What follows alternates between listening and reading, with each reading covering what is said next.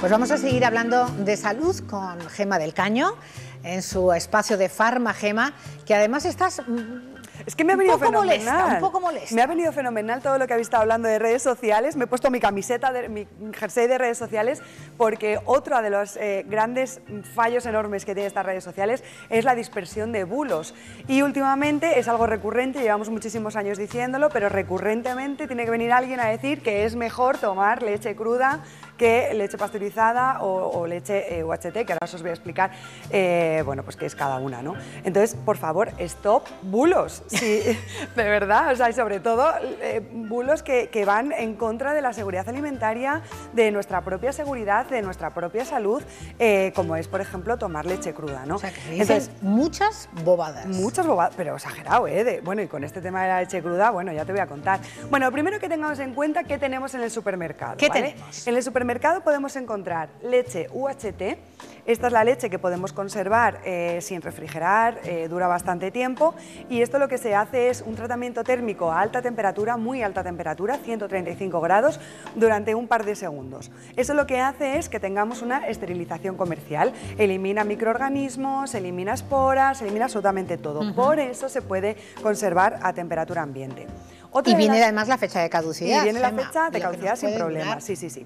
Eh, esto más o menos dura una semana, eh, tres, cuatro días en, en la nevera sin problema. En el supermercado también podemos encontrar la leche pasteurizada. Esto es otro modelo, ¿vale? Esto lo vamos a encontrar en refrigeración dentro del, del supermercado. Eh, aquí lo que se hace es una pasteurización, o sea, lo subimos entre un binomio tiempo-temperatura, ¿no? Pero más o menos 68 grados durante 15, 30 segundos.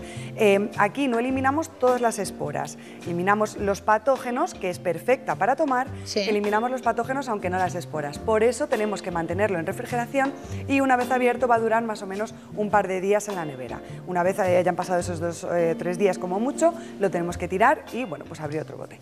Eh, podemos considerar que el sabor es un poco diferente, bueno, ya cada uno lo que le guste, pero por favor siempre con seguridad.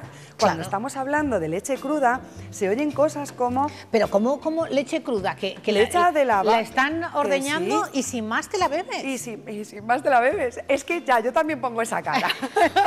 es que Claro, yo de verdad, ¿eh? Te dan ganas de, de ¿Cuánto temblar. atrevimiento? Claro, es que yo me imagino a Pasteur en su tumba revolviéndose, en plan, he salvado tantos millones de ¿Para vidas. qué? ¿Para qué? qué? Para que venga aquí alguien a decirme que la leche cruda eh, tiene muchos más nutrientes que la leche pasteurizada. En absoluto. Es verdad que algunas eh, vitaminas termosensibles pueden disminuir en una pequeñita cantidad, pero muy pequeñita y además no es nuestra fuente principal en la leche. ¿no?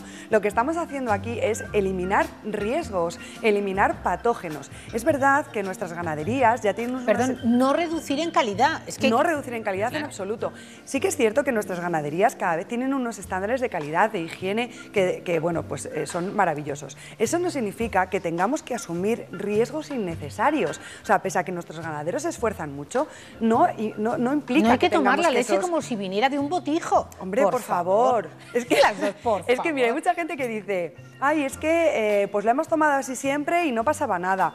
Pues claro, es que al que le pasaba no está aquí para contártelo hoy, para decirte, pues a mí me pasó y me dio un papurrio y me... Claro, o sea, Es no, que, es que está- eh, tenemos una percepción, un sesgo del superviviente bastante complicado. Lo que sí que tenemos es ese recuerdo de cuando éramos niños, de otros momentos, pues seguro que mi padre, un besito para mi padre, eh, recuerda esos momentos, pero por ese entorno, ¿no? El, el que tenías, que no tenías problemas, que no tenías jaleos, que no tenías tal, hervíamos la leche en, en las casas y eso no significa... Vuelve a decir, hervíamos la leche, hervíamos Hombre, la claro. leche, no directamente de la teta es que de la eso, vaca. Bueno, doy por hecho que ya, o sea, no, es que yo, cuatro- perdóname, pero insisto. Claro porque- que sí. Aún así, hervir la leche en nuestra casa tampoco es Claro, garantía, claro, porque claro. no estamos eh, controlando el tiempo, la temperatura. Ya sabes que empieza a hervir, se sale aquello, luego lo vuelves a bajar, luego otra vez a hervir. Ahí hemos eliminado más vitaminas de las que eliminamos, eh, de las que podrían reducirse con la pasteurización. O sea, te- tengamos en cuenta que los avances en seguridad alimentaria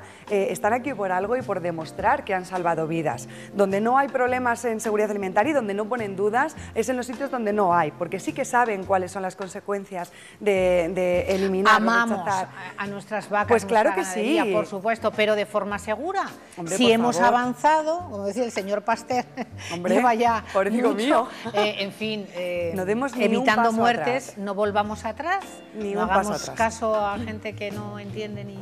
Sobre todo es eso, que cuando vemos un bulo como estos en, en redes No sociales, lo dispersemos. Claro, podemos ser o cortafuegos o podemos ser gasolina y tenemos que elegir ser con- cortafuegos. No podemos eh, comunicar, avanzar, eh, distribuir estos bulos, casi, casi ni siquiera para decir que son, que son falsos. ¿no? Quizá contestemos a esta persona y ya está, con Pues- datos objetivos y, y más que demostrados. Gema, que te lo agradecemos. Muchas de gracias verdad, a ti. tu esfuerzo. Y, y- y es lógico, como no va a molestarse ante tamañas tropelías. Gracias, un beso Gracias grande. Nos vemos el próximo lunes.